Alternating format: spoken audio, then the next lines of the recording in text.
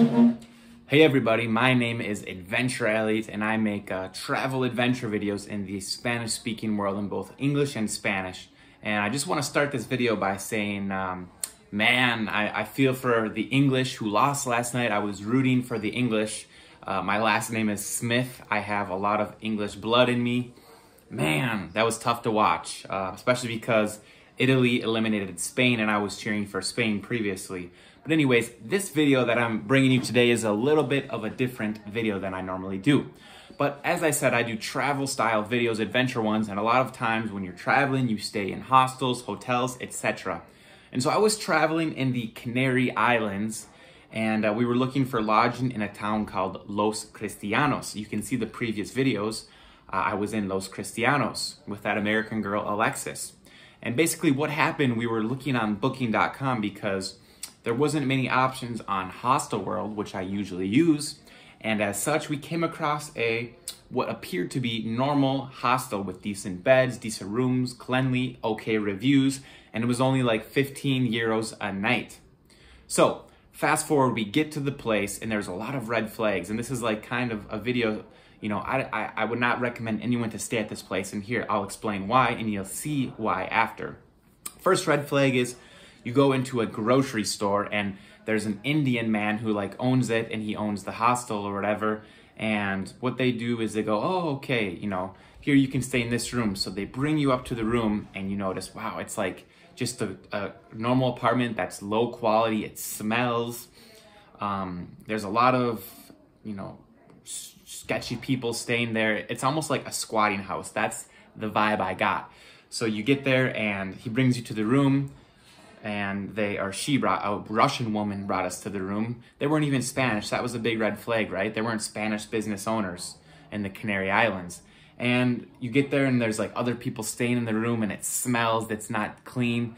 And they go, you can stay here or we got a private room for you for 20 euros a person. So we go, okay, like I'd rather, this doesn't seem like a great environment. I'd rather go to a cleaner area where I have more privacy for only 20 euros a person, right? So we go up, they bring us up to the other private room, and the state of it is even worse. There's bed bugs, there's stains, it's not clean. The, the frid- refrigerator is rotting, it has a rotting smell. It's just, I've never seen a hostel this bad. And so it's not even a hostel. It's basically a crappy abandoned apartment that they use. They post on booking.com. They, uh, I would say, even trick people into going there thinking they're getting a good value and they bring you, they make you feel uncomfortable so that you pay more for the private room, 20 euros a person. So me and my buddy Jacob, we ended up paying 40 euros for this area that you're gonna see next. And it was just smelly, you know, we just wanted a bed to stay. So we ended up not spending time there.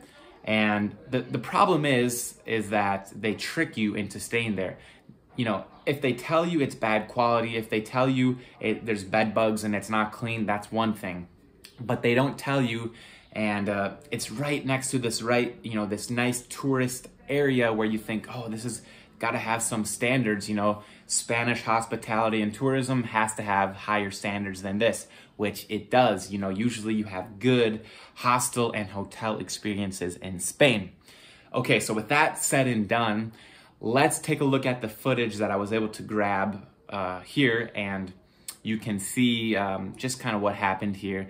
And I'm gonna post the booking link below so that if you are ever traveling to the Canary Islands, Tenerife, Los Cristianos, do not stay there. Do yourself a favor. Don't waste your money.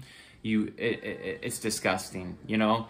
Um, and I've I've stayed in bad hostels in Costa Rica and Panama and Colombia you know, I've been to some bad hostels, but if I see a decent hostel that accords to the reviews, I give credit where it's due. You can see on my videos, I have hostels uh, in some of my videos, and I'm giving a lot of credit to them because they usually do a great job wherever you are. Okay, let's check out the footage. Wow, that was quite an experience with the hostel. So we had to like, it's inside the supermarket. Hola chicos.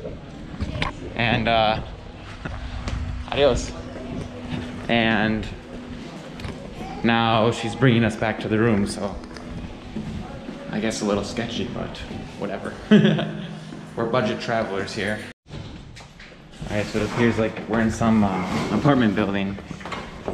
It's a little, uh, not too clean, but hey, there's a, oh, oh, looks nice here. Let's see what we have here. Oh, we got a terraza. Okay, not not so bad. Not so bad. All right, here we go. Okay. Hola. Hola. ¿Cómo están? Muy bien, gracias. We go to look at the room? What? You want to look at the other room? Ah, s- sí, sí, sí. Vamos. Por si acaso. All right. Well, we checked into our hostel, and uh, the only redeeming quality about this hostel is the view and the proximity to the beach. There's a rather large beach right there, so that's good. Um, and this is Los Cristianos, but man, kind of what a what a sham, what a disappointing experience. So the first red flag is that it's like you check in in a supermarket, but um, anyways, it was on Booking.com and it was the cheapest uh, option we had. So let's give you a little tour of. Uh, at least we have this all to ourselves. But yeah, beds not well done. Mattresses are disgusting. Worst hostel I've ever seen in Spain. What a disgrace. Now we're staying in here and we got sheets and everything, but like, oh my god, I've been in hostels in a lot of countries. This is basically just an empty apartment that they turned into a crappy hostel. And the bathroom, okay, the bathroom seems kind of normal. All right. But, uh, wow, absolute. I've never stayed in a worse hostel, and I'm pretty flexible. I've stayed in a lot of hostels before, but, ooh, do not stay here. I'll post the address. Whatever you do, avoid this place. And I usually don't say that about places. And uh, I guess the only consolation is this terrace here. Oh my god. Worst hostel in Canary Islands, Spain. Oh. So there it is, you guys. You can see the quality was, you know, really bad. And I don't want to sound like a spoiled brat. Um, I've stayed in a lot of bad hostels, but the difference is, you know, they're $10, $15, um, and you can see the place before you stay there.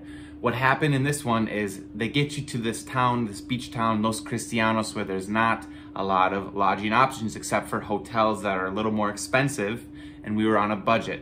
And so you get there, you have no other option, and then they tell you, boom, this is what you have, and they they sort of um, pressure you into getting this room that you saw that has cockroaches. It smells terrible. It doesn't have a working toilet or a shower.